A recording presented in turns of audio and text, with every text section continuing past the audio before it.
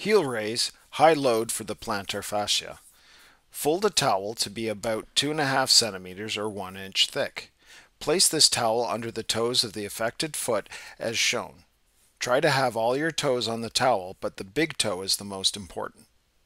From this position, rise up on your toes over a count of 3 seconds.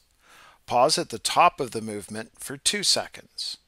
Lower back to the start position over the course of 3 seconds. Pause at the bottom of the movement for 1 to 2 seconds.